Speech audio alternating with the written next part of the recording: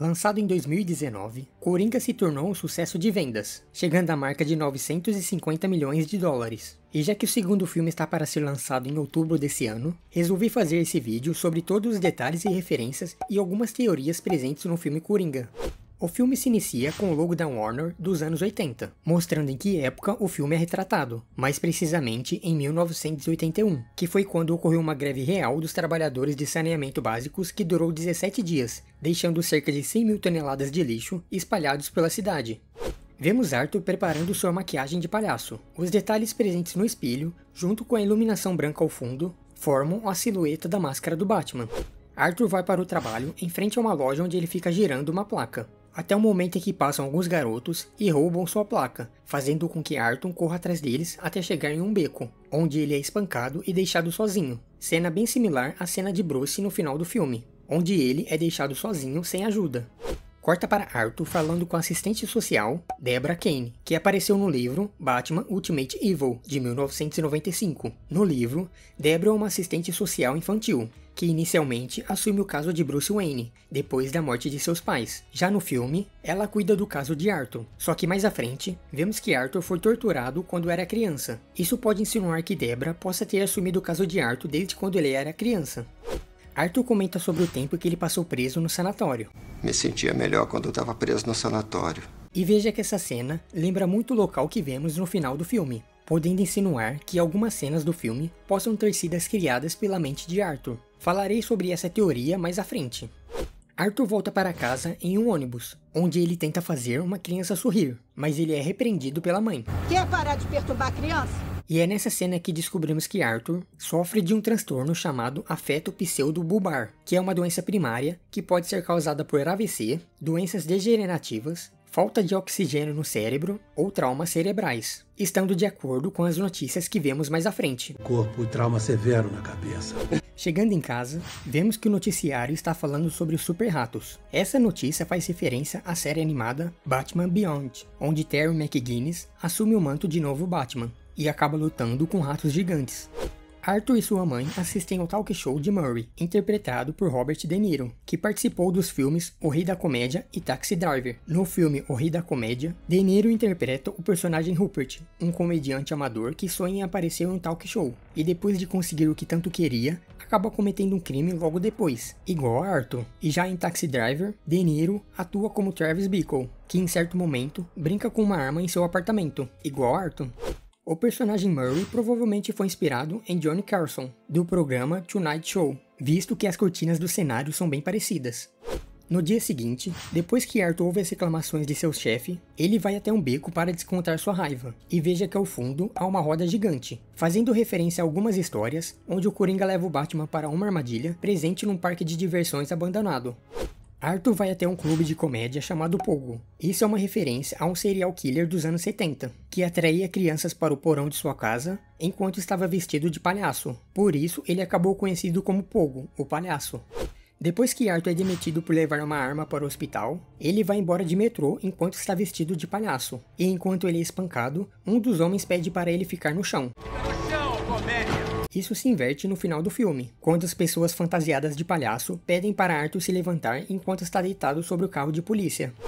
Mais à frente, depois que Arthur faz seu show, ele passa em frente a uma banca de jornal e podemos ver a notícia Palhaço Justiceiro, mostrando que a parte desempregada e indignada do povo de Gotham celebra esse ato, parecido com o caso de Bernie Gotze, de 1984. Bernie era um homem de 37 anos, que foi abordado por quatro homens que estavam pedindo dinheiro no metrô. Ele então sacou seu revólver calibre 38 e disparou contra os quatro homens, que acabaram sobrevivendo. Esse ato foi elogiado por algumas pessoas da cidade, que viam isso como uma resposta à crescente criminalidade na cidade.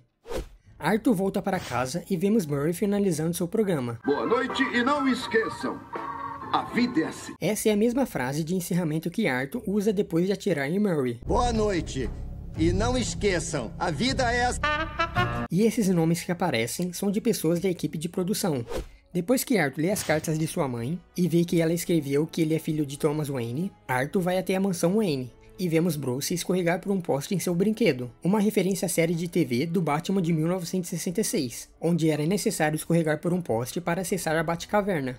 Logo em seguida, aparece Alfred, que após ouvir o nome Fleck, afasta Bruce do portão. O nome da minha mãe é Penny. Penny Fleck. Você é filho dela? Sim. Conhece ela? Isso por conhecer a história da mãe de Arthur, visto que na época saiu em todos os jornais. Arthur volta para casa e encontra sua mãe sendo levada para o hospital. E do lado de fora do hospital, Arthur é abordado por dois detetives. Desculpe o incômodo, sou o detetive Garrett e esse é o meu parceiro, o detetive Burke. Detetive Thomas Burke é um personagem dos quadrinhos do Batman dos anos 2000.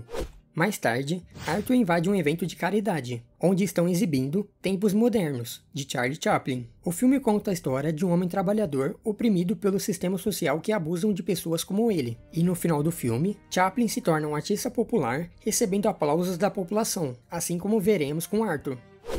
Após Thomas Wayne falar que Penny Fleck é louca e o adotou, Arthur vai até o Hospital Arkham para verificar os arquivos médicos de sua mãe. E vemos que o médico que a diagnosticou foi o Dr. Benjamin Stoner. Diagnosticada pelo Dr. Benjamin Stoner. O mesmo médico que trabalhou no asilo Arkham nos quadrinhos. Arthur vai embora e entra na casa de Sofia e fala: Meu dia foi péssimo.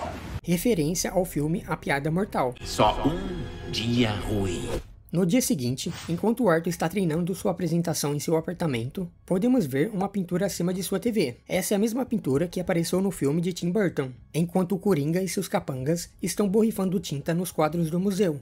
Arthur se encaminha até o programa de Murray e começa a dançar na escada. O ator Joaquin Phoenix revelou que essa dança foi inspirada em Ray Bolger, em Old Soft Shoe. Já no estúdio, o camarim de Arthur é o número 404, referência à primeira edição da série Batman, ano 1, de 1987. O programa se inicia, e Arthur beija a Doutora Sally. Essa personagem faz referência à Doutora Ruth, uma terapeuta sexual que participou em muitos programas nos anos 80. Ela também já foi referenciada no quadrinho O Cavaleiro das Trevas, onde participou de um talk show junto com Coringa.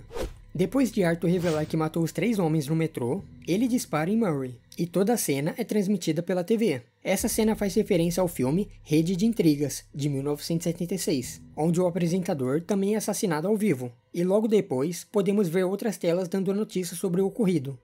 Depois que Arthur é detido, ele é levado por um carro de polícia, no qual ele encosta sua cabeça na janela, isso pode fazer referência à cena do Coringa de Heath Ledger, onde ele coloca sua cabeça para fora do carro de polícia, para comemorar sua liberdade. A propósito, fiz um vídeo sobre algumas curiosidades e cena dos bastidores sobre o Coringa de Heath Ledger. Vou deixar o link nos cards e na descrição.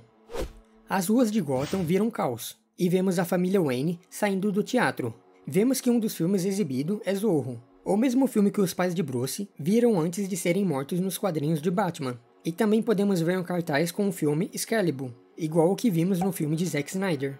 Na cena final, vemos Arthur preso em uma sala do Hospital Arkham, junto com uma psicóloga. Ela pergunta por que ele está rindo, e ele fala que ela não entenderia. Nisso, corta para Arthur caminhando pelo corredor, enquanto deixa pegadas de sangue para trás. Essa cena pode fazer referência ao filme Onde os Fracos Não Têm Vez, onde o personagem Anton verifica suas botas para ver se elas não estão sujas de sangue, para não deixar marcas. Agora eu vou mostrar alguns pontos de uma teoria que mostra que alguns fatos que ocorreram durante o filme possam ter sido inventados pela mente de Arthur. Não que isso mude o resultado do filme, só ocorreram de maneira diferente de acordo com a mente de Arthur. Voltamos para o momento em que ele revela para a assistente social que ele já havia falado para ela que ele está tentando uma carreira como comediante. Acho que eu te contei que eu tô tentando uma carreira no stand-up comedy. Mas vemos que ele ainda não havia falado para ela. Não contou, não. Mais à frente, enquanto Arthur assiste Murray, ele se imagina no programa. Isso enquanto suas falas são acolhidas pela plateia. Eu cuido bem da minha mãe. Mas vemos que isso é só sua imaginação. Depois que Arthur leva uma bronca de seu chefe, ele volta para casa e vemos a primeira interação com a sua vizinha. Essa provavelmente é a única interação real que ele tem com ela no filme todo, visto que mais à frente ele convida ela para assistir seu show de comédia. Podia assistir o show um dia desses e em certo ponto do show, podemos ouvir algumas risadas da plateia, e ainda conseguimos ver sua vizinha sorrindo. Mas quando Murray vai passar algumas piadas suas na TV, podemos ver que não há nenhuma risada. Bom, ninguém tá rindo agora. E também é bem possível que Sophie não esteja nesse lugar, visto que mais à frente, quando Arthur invade seu apartamento, ela se assusta e pergunta se seu nome é Arthur e se é ele que mora no final do corredor. Seu nome é Arthur, né? Mora no fim do corredor. Ela já deveria saber disso, visto que já tinha ido falar com ele antes. E nessa mesma cena, ela pergunta se ele quer que ela chame sua mãe. Quer que eu chame alguém? Sua mãe tá em casa? Só que vemos Sophie no hospital com Arthur enquanto sua mãe está internada. Se essa cena fosse real, ela não teria dito isso por saber que sua mãe está no hospital, mostrando que todas essas cenas foram feitas pela mente de Arthur. E na cena do metrô, podemos ver que Arthur dispara oito vezes contra os homens. Mas a arma que Arthur utiliza é um revólver calibre 38 que só consegue efetuar 6 disparos por vez. Possa ser que nessa cena, Arthur tinha acreditado que matou os três homens, fazendo desse o ponto inicial para o decorrer do resto da história, com momentos reais e outros que não aconteceram exatamente como vimos. E para finalizar, outra teoria que surgiu é que toda essa história aconteceu na mente de Arthur, enquanto ele está preso no sanatório, visto que na cena em que ele tem um flashback, onde ele está batendo a cabeça na janela da porta, vemos que no relógio ao seu lado marca a hora 11:11. 11. E em todos os relógios que aparecem no filme, marcam a mesma hora, podendo insinuar que Arthur nunca saiu de lá. E quando a psicóloga pergunta para ele por que ele está rindo, qual é a graça? E ele responde que ela não entenderia a graça. Se não entender. É porque Arthur teria que contar toda a história que ele imaginou para ela. Eu pensei numa piada. E obviamente ela não acharia graça.